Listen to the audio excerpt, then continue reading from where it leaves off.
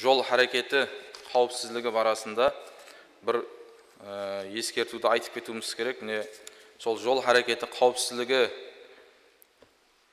жұмысында істейтұғын ағаларымызға міне сол ілтимас қылып жатырыпты яғни біз білеміз инсанлардың арасында хақ құқылары бар.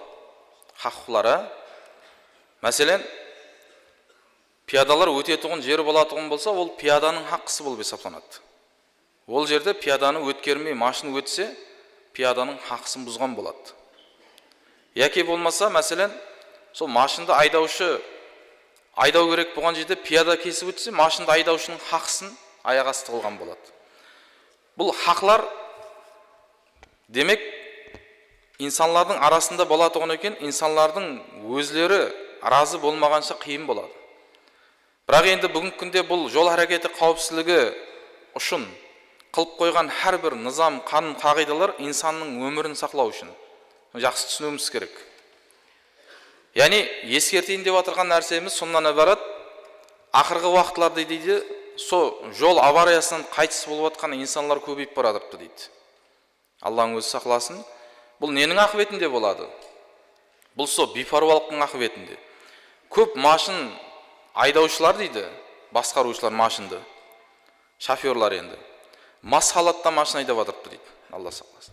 Харам нәрсені сол аузына құйып өзін басқара алмаған халда машинаны рөлге отырып жатырыпты дейді. Кейінгі уақытларда сол инсанлардың қайтыс болуы көбінше сондай жағдайлардан болып жатырыпты дейді. Бұл нәрселерді тура сіз біз қылмауымыз мүмкін бірақ басқа қылып жатқан инсанға бұның зиянын жеткеруіміз керек. Бір инсанның өміріне замын болып жатқанымызды түсіндіруіміз керек. Демек бұл жерде со біреудің хақысы орыланбай қалып боп келіп шығып жатырған мәселе бұлар негізі. Яғни сол жол әрекетінің бұзылуы. Яки болмаса сондай халаттан болып жатыпты дейді. Пиядалар өтетұғын жерден пияда өтіп жатырған уақытында машиналар келіп енді тоқтап тұрса базы уақытларда пиядалар сол өтпей машинаның иелеріменен сол шоферлармен тартысып кету халатлары ұшырап жатырыпты дейді.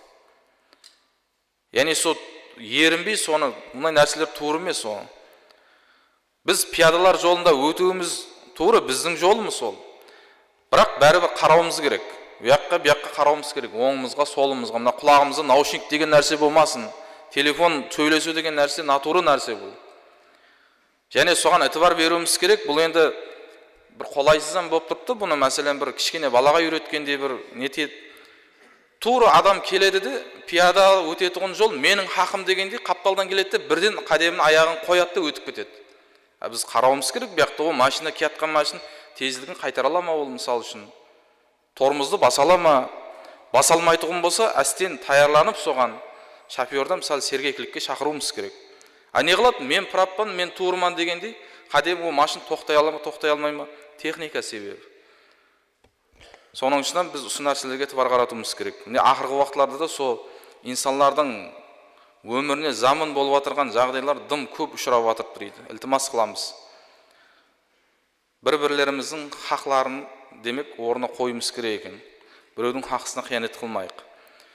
Демек сол жолдың әрекетінде қандай қағида болса сол қағидаға әммеміз әмел қылсақ иншалла бұндай нәрселер болмайды.